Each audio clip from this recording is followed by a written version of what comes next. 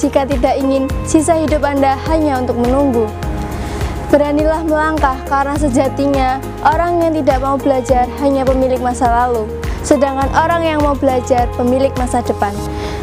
Ingatlah, jangan pernah menyiakan kesempatan karena kesempatan tidak datang dua kali, dan jangan pernah menunggu waktu karena waktu tidak menunggu kita.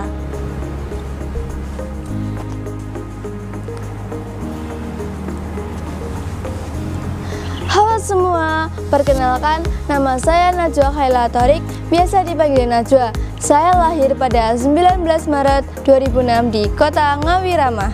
16 tahun hidup di dunia, banyak belajar hal-hal yang baru. Salah satunya memilih dan mengambil keputusan.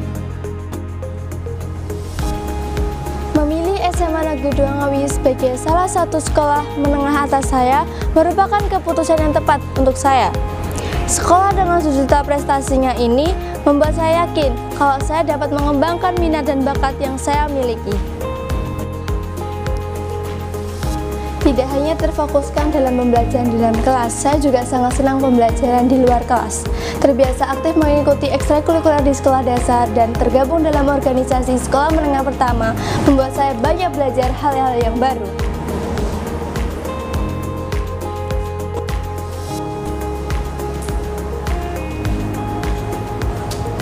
Salah satunya, saya belajar kerjasama antar tim dan bagaimana dapat berguna untuk sesama. Saat saya duduk di SMA, saya tergabung dalam organisasi MPS, yaitu Majelis Permusyawaratan Sekolah, dan saya menjadi humas di ekstrakurikuler Semadaat. Selain itu juga, saya aktif dalam organisasi di luar sekolah, salah satunya menjadi sekretaris di Pembinaan Kesehatan Remaja Sekolah yang biasa disebut juga Posyandu Remaja. Saya teringat oleh kutipan dari Sosro Kartono, kakak dari Raden Ajeng Kartini, yang berbunyi, belum menang jika belum berani kalah, belum unggul jika belum berani rendah, belum besar jika belum berani kecil.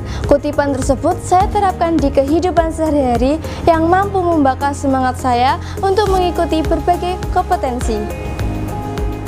Prestasi yang pernah saya dapatkan yaitu piagam penghargaan mengikuti kompetensi pelajar berprestasi tingkat nasional tahun 2022, medali perunggu dalam acara nasional Sains Kabupaten Sentam 2022, mengikuti webinar bedah di Universitas 11 Maret tahun 2022, aktif menjadi anggota resimen SMA Negeri 2 Ngawi Taruna Indonesia, dan menjadi Miss Mada tahun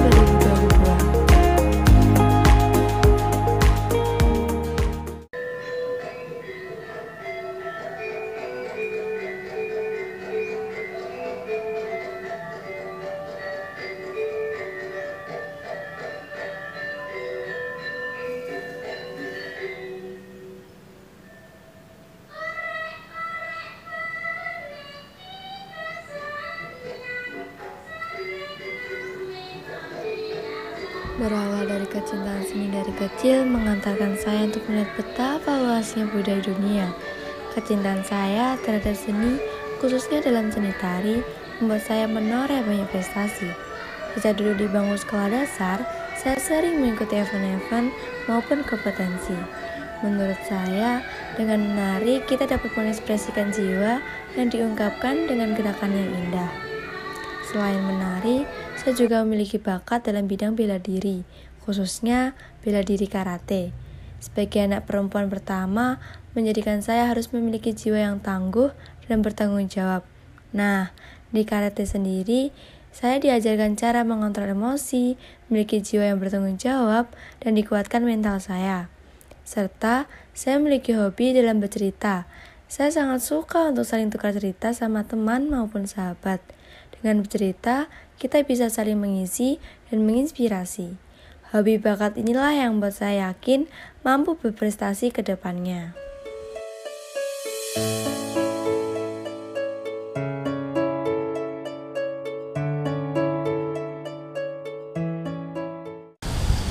Kita juga harus mengenali dan menjaga kebudayaan yang kita miliki, karena seseorang tanpa masa lalu dan sejarah seperti pohon tanpa akar.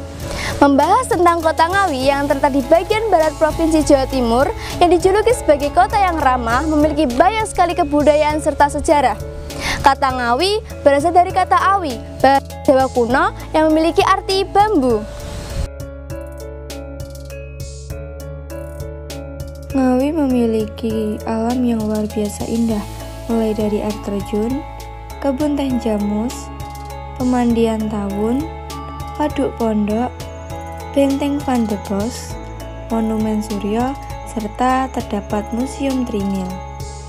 Bukan hanya alam yang indah, Ngawi juga memiliki budaya yang tidak kalah menariknya, yaitu budaya kesenian daerah asli Kabupaten Ngawi adalah tari orek-orek dan wayang kerucil. Ngawi juga masih sangat kental tradisi adat istiadatnya, seperti ritual upacara adat bersih sending atau geduk beji yang berada di tahun, upacara adat jamasan pusaka di alas serigati, tradisi metil yang menjadi salah satu kearifan lokal, dan tradisi kebuketan yang berada di Widodaren.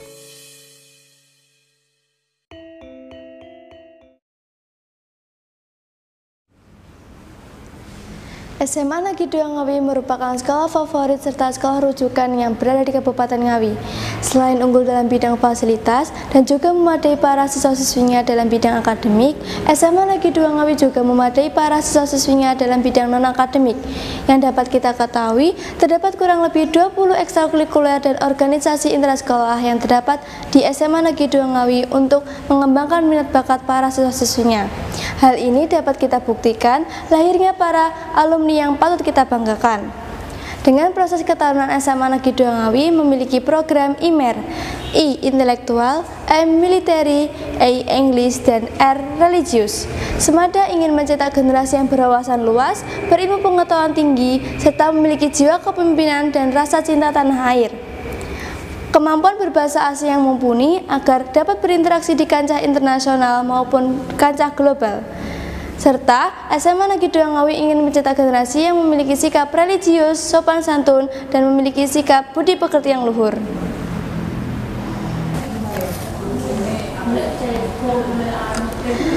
Kita generasi muda sebagai agen pembangunan dalam perubahan negeri ini harus saling berkontribusi dan menginspirasi demi kemajuan negeri ini. Lawan sastra Mesti Mulyo yang memiliki arti dengan ilmu kita menuju kemuliaan Ki Hajar Dewantara. Ilmu tak melulu soal angka, namun bekal dalam hidup. Buat hidup lebih bermakna dengan berani menerima tantangan dan menjadi pribadi yang lebih bermanfaat. Keluarlah dari zona nyaman, jangan pernah takut untuk mencoba hal baru. Tak lupa nikmati dan maknai setiap prosesmu.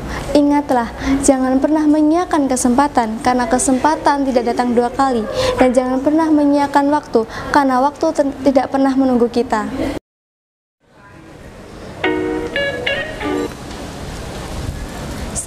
Najwa Khaila Tarik siap menjadi bagian Duta Pelajar Putri Jawa Pos SMA WOT tahun 2022. Sampai jumpa.